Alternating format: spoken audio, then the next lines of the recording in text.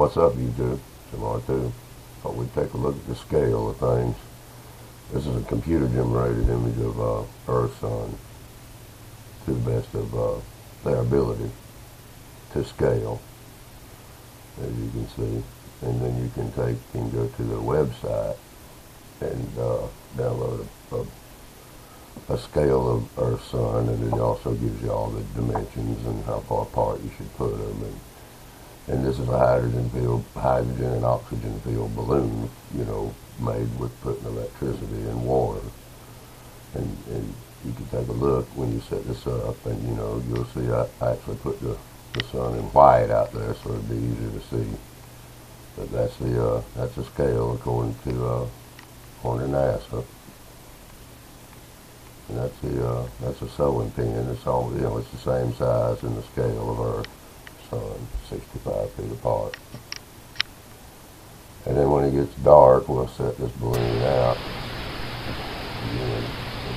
I did several of these, so I just went and archived some of my own footage.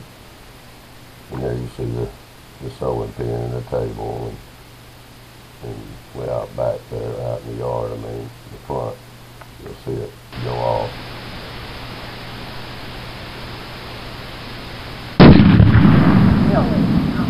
At any rate, we'll stop that frame you'll see here.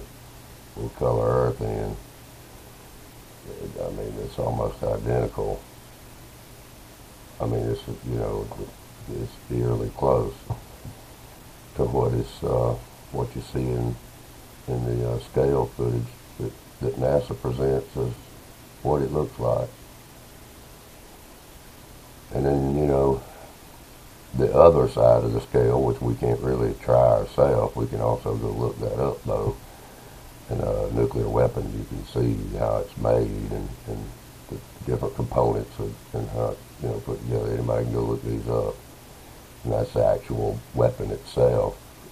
You see his hand right on the end of it, the, the actual atomic fission portion. And of course, there's the end result, which we know would not have worked in that front yard. Peace and love. Big heads up.